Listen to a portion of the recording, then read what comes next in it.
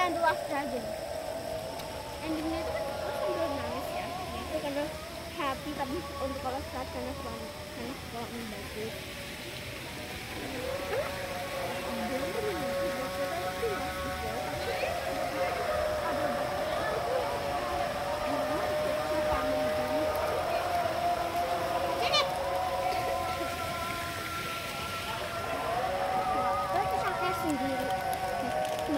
Beşiktaş'tan bekledim.